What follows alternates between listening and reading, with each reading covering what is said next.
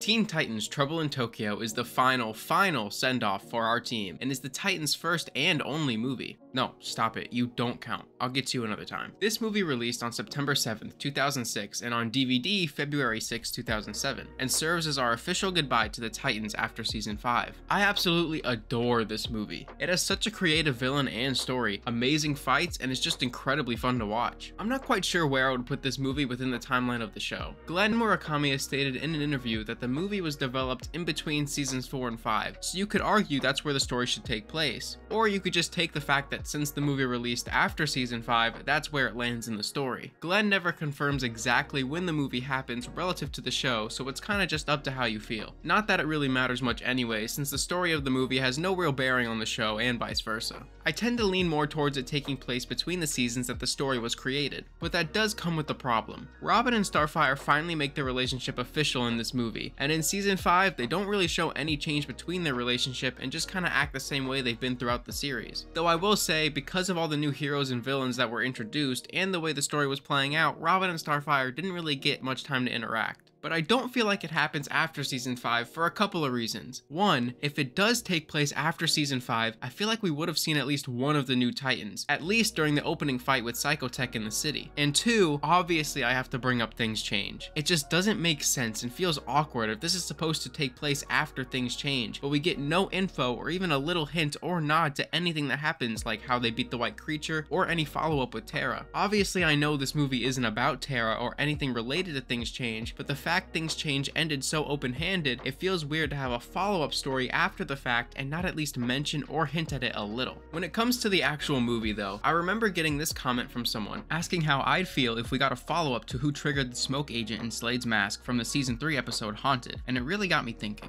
I never really thought about the contents of the movie much, since I heavily enjoyed it, but imagine if the movie would have been about the open-ended story from Haunted, or, what I personally would have loved, a movie about who Red X is and figuring that out. I feel like using this opportunity of the movie to expand on things that they weren't able to fully flesh out in the show would have been so cool to see. Obviously, like I said, this movie was developed in between seasons 4 and 5, and it's something they had cooking for a while, but still would have been cool nonetheless. Now to get into the actual contents of the movie. It starts off with a new villain showing up in Jump City just blowing shit up for seemingly no reason, so our team comes to the scene to stop him. During this fight, I couldn't help but feel like the Titans were actively trying to kill this guy. Cyborg shoots his arm cannon at the dude and takes his entire arm off, and he had no reaction. But then when he regrows his arm, that's when Cyborg looks shocked and surprised. It just came off like this motherfucker was actually trying to blast his arm off. Then later, Raven crushes him in between two boulders. Like there's zero chance she expected him to survive that. Robin seemed like the only one trying to subdue him non-lethally, but then later he does this shit and tries his own hand at taking this guy's life. Also, Robin throughout the show was thrown away and destroyed so many R cycles. Like we get it, Bruce Wayne is your dad and Cyborg could also help build another, but bro, chill. Let's at least try and pretend we care. I love how Beast Boy was accidentally right multiple times in this movie as well. First when Psychotech disappeared from the tower and Beast Boy says, Maybe he just wasn't waterproof. And they get pissed at him, but like, that's exactly what happened. And then later, he wants to visit the comic building so bad, and that's where the villain was hiding the entire time. After they capture Psychotech, he reveals that Brushogun from Tokyo is the man who sent him to destroy the tower so the Titans pack their bags and head to Japan. While in Tokyo, another one of Brushogun's creations attacks them, and it's the stereotypical kaiju Godzilla-esque monster. During the fight, the Titans act like they've never fought in a city before, being beaten by bridges, signs, and electrical wires, even though they definitely have those back at home. Then the Japanese police troopers and Commander Daizo arrive to help them, and it's supposed to show that they have all the criminals in control so they don't need the Titans' help, but like, the monster monster literally just stood there looking stupid watching them while they set up the big net contraption to capture it. Later we get this almost cute little scene of Robin and Starfire where they almost finally made it official, but then Robin pulls the same shit he did back in season 1 on the Ferris wheel. We're heroes, Starfire. We don't take vacations, we don't make mistakes, and we don't have time for... For what? For this. Robin, your Batman is showing. While the Titans are out exploring Tokyo, Beast Boy ends up doing karaoke of the Teen Titans theme song, which has been poorly translated. So does this mean that the Titans theme song is canon in their world? Then Robin goes and murders someone and gets himself arrested, while the other Titans are ambushed by Brushogun's other creations. I thought...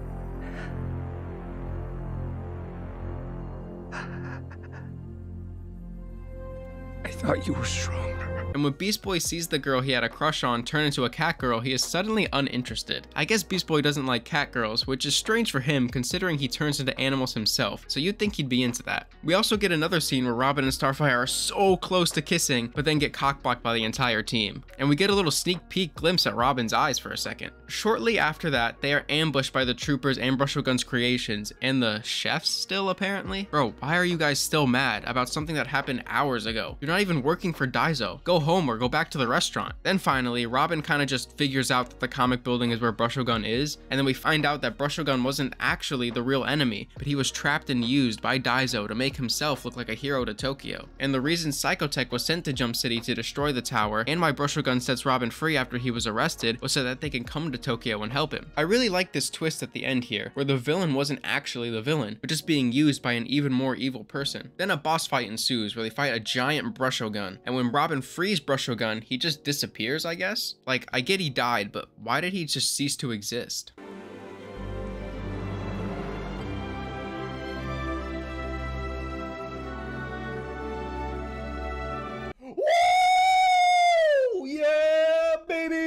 That's what I've been waiting for. They finally do it. Going from season after season of being teased with the will they, won't they, Robin and Starfire finally kiss and make it official. Even though I wish this would have happened way earlier so we could see the relationship grow, I am still happy we get to see it become a real thing at all before the series ended. I want to bring the world to its knees with the sound of chaos! I've decided to squeeze the Lost episode in here as well, since it was released as a bonus alongside the Trouble in Tokyo DVDs. The Lost episode was apparently a promotional 12 minute episode for the show, and it is speculated to take place after Can I Keep Him, which makes sense considering it was featuring Silky, but before Titans East, which I'm not really sure why it has to be placed before Titans East, because there's nothing here that makes it not make sense past that. In this Lost episode, it starts with Beast Boy blasting the same song that Robin was blasting in How Long Is Forever, and then he plugs it into the main power cell that was apparently just sitting in the living room for some reason. It's never been there in literally any other episode. Why is it just randomly chilling here all of a sudden? Anyway, they get an alert because Punk Rocket shows up to a classical music show just to be a dickhead and ruin everyone's day. And, um, why is there a wall of amps behind the curtain of a classical music stage? Wouldn't they have no use for that? Also, the Titans were getting thrown around by small guitar blasts from Punk Rocket at the beginning of the fight, but then when he plugs his guitar into the amp and sets the volume higher and higher, they seemed to be withstanding the blast and only their ears were affected. I must say, you Titans have proven formidable adversary. Once you are destroyed, perhaps I shall print copies of you. The villains in Trouble in Tokyo were Brushogun and his creations. For his creations, we have Psychotech, the only one given an actual name, and seemingly the most skilled one. Astro Boy, who just flies around and shoots missiles, Dr. Robotnik, which is an egg-shaped robot with many different gadgets, Ghost Freak, oh wait, wrong show, um, Ghoul Weirdo, who is just some spooky little ghost guy, and a cat girl. Also the giant kaiju monster that apparently they only make one of, even though making multiple of those would have probably been really hard to beat. Then Brushogun himself, who was shown to almost look like Carnage in the backstory, and was explained to be a villain even though he ended up not being the one behind all of this in the movie. But Brushogun looks so cool and a little creepy, and his ability again I think is so creative. And I love that the creations he makes come out in colors of red or magenta, blue, yellow, and black, like the colors of a printer. Then we have Daizo, the commander of the police troopers who captured and used Brushogun's abilities to cause problems so he can fix them himself, just to make himself look good, and then he has the gall to have an ego. I actually really like that Daizo ended up being the real villain at the end, because the entire time he was bugging me, so I'm glad they gave me an actual reason to dislike him so I don't just feel like a hater for no reason. Then in the last episode, we see what was Punk Rocket's debut. We see him in season 5 as part of the Brotherhood of Evil, but he seemingly just comes out of nowhere, and is a new villain, but apparently he's been around since around season 3. I like that he could fly around on his guitar, and he's been shown to actually been able to throw hands as well, but he always talks about how great his music is compared to everyone else's, yet he only always plays the same note. I guess you could say he's a very one-note villain. Overall, Trouble in Tokyo I feel is a great movie, and addition to the series that is super fun, creative, and has everything that made the show so special to begin with, and also gives us a close on the Starfire-Robin relationship, or